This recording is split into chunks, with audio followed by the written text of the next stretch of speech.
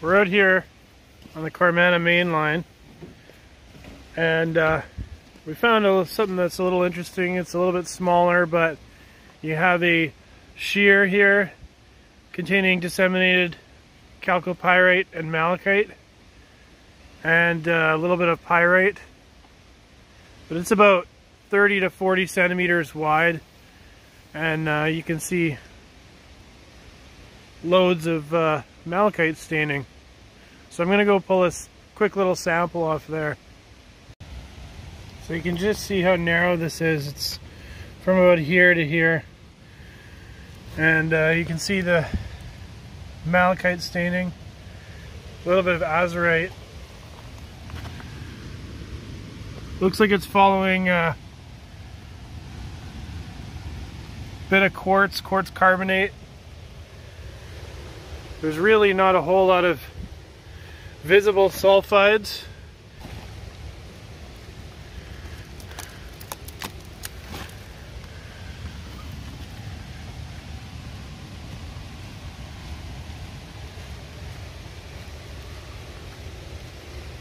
Goes all the way back up into there.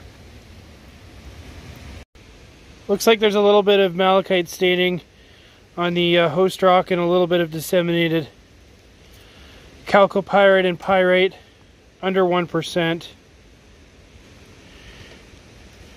Then you have these quartz carbonate stringers in the shear which uh, appear to be mineralized slightly in little patches but uh, for the most part it's mostly barren.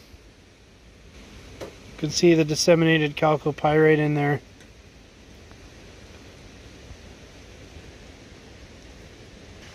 And up in this area here, there's a little bit more siliceous rock. And we found a couple nicer samples, which have chalcopyrite stringers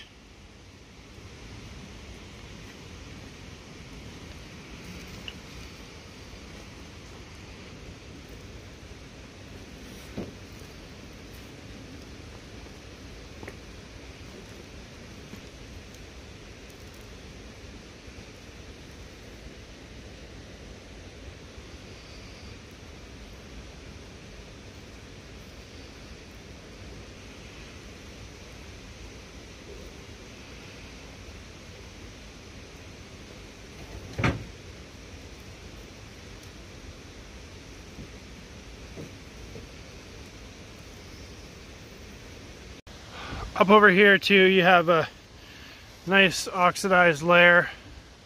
I can't get to that, but uh, it looks like there's likely some kind of mineralization there. So, little showing on the side of the road. And uh, that's all we found in this area so far, so we're to move on. See you in the next one.